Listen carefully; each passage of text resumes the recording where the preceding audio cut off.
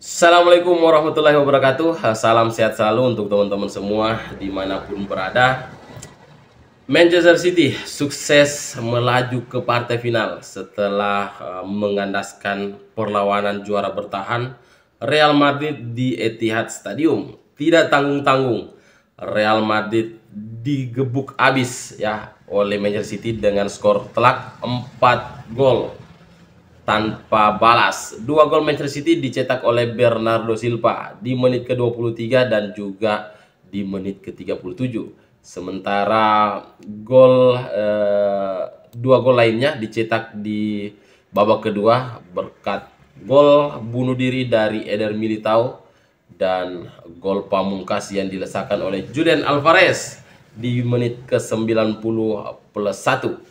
Hasil ini membuat agregat antara Manchester City dan juga Real Madrid menjadi uh, eh, 5-1. Ini artinya Manchester City akan berhadapan dengan Inter Milan di final Liga Champions uh, pada 11 Juni mendatang di Ataturk Stadium. Kita ke jalannya laga ya. Di mana pada babak pertama dominasi Manchester City sangat terasa ya. Bahkan beberapa peluang dihasilkan oleh para pemain Manchester City. Uh, dua sundulan dari Erling Haaland yang masih mampu di save dengan baik oleh Thibaut Courtois. Namun uh, akhirnya uh, Thibaut Courtois kebobolan juga di menit ke 23 lewat sepakan Bernardo Silva di mana Bernardo Silva ini menuntaskan dengan baik kerjasama antara Kyle Walker, kemudian John Stones dan juga Kevin De Bruyne yang mengirimkan umpan ke Bernardo Silva dan lewat sepakan kaki kiri Bernardo Silva mampu membawa Citi unggul 1-0. Ya, kemudian Real Madrid tidak tinggal diam, ya mereka tentu uh, sangat ingin uh, segera menyamakan kedudukan karena kebobolan lebih dulu oleh Manchester City di Etihad Stadium ini pertanda buruk ya di mana Toni Kroos mencoba keberuntungannya lewat tendangan dari luar kotak penalti di menit ke-35 namun sayang tendangannya masih membentur uh, Mister Gawang. Manchester City akhirnya mampu menggandakan uh, keunggulan lagi-lagi lewat Bernardo Silva ya uh, yang di mana dia menyambar bola liar di depan uh, gawang Real Madrid. Uh, hasil dari tembakan Ikai Gundogan ya yang uh, mampu diblok para pemain Madrid. Tandukan uh, Bernardo Silva membawa Manchester City unggul 2-0 di babak pertama. Dan di babak kedua saya melihat uh, Real Madrid mulai uh, mencoba meladeni ya permainan dari Manchester City dengan uh, tidak bermain bertahan uh, terlalu dalam seperti babak pertama dan itu sukses ya memangkas position ball di mana Real Madrid uh, kalah position di babak pertama dan mereka mencoba untuk membangun serangan dan menye mencoba menyamakan kedudukan. Namun uh, hasilnya tetap sia-sia. Manchester City sudah unggul 2-0 dan bermain lebih enjoy dan akhirnya Kevin De Bruyne mendapatkan uh, set piece uh, tendangan pelanggaran dan mengarahkan langsung ke depan gawang Manchester City yang di sana ada Akanji. Namun sundulan Akanji ya sepertinya tidak uh, terkena bagus ya.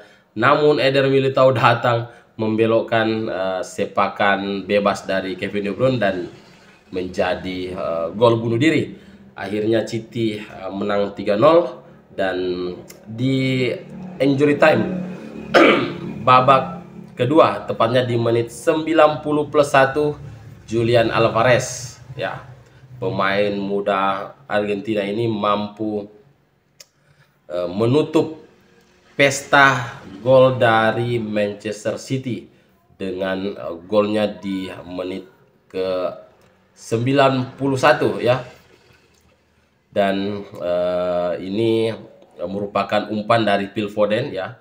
Uh, sukses dimaksimalkan oleh Julian Alvarez. Jadi hasil ini bisa dibilang uh, menjadi prestasi yang sangat luar biasa ya untuk Manchester City di mana mereka mampu lolos dua kali ke final ya meskipun yang pertama mereka ditaklukkan oleh Chelsea di dua musim lalu. Dan di musim ini mereka punya peluang untuk uh, menjuarai Liga Champions karena kita tahu uh, tim yang akan mereka hadapi adalah Inter Milan yang penampilannya uh, belum konsisten ya, belum punya identitas seperti City, belum punya dasar uh, skuad uh, sistem permainan sebagus City dan saya rasa City punya peluang yang uh, sangat besar untuk menjuarai uh, Liga Champions musim ini. Apalagi mereka ini punya uh, target yang luar biasa musim ini di mana mereka ingin sekali meraih triple winner. Ya di FA Cup mereka akan berjumpa MU di final kemudian eh, di EPL mereka hanya membutuhkan tiga poin dari tiga kali laga ya untuk memastikan gelar juara dan di Liga Champions mereka tinggal mengalahkan Inter Milan uh, pada 11 uh, eh, Juni nanti dan layak untuk uh, kita nantikan ya apa yang akan dilakukan oleh Pep Guardiola apakah mereka akan mencatatkan sejarah baru. Namun saya melihat beberapa uh, statement dari uh, Pep Guardiola ya jangan uh, terlalu terbebani katanya untuk uh, skuadnya jangan terlalu terbebani dengan uh, keinginan meraih triple winner. Jadilah diri sendiri dan uh, bermainlah uh, dengan baik ya. Itu tentu kata-kata uh, apa pelecut semangat ya.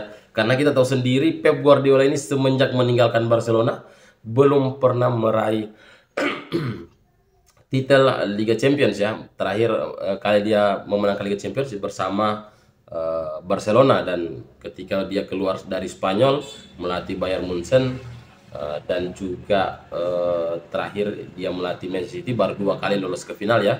Itu pun bersama City. Oke. Okay?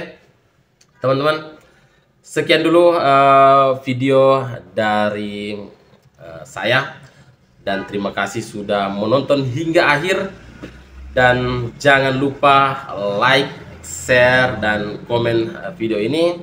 Saya Ile bicara official ya. Assalamualaikum warahmatullahi wabarakatuh.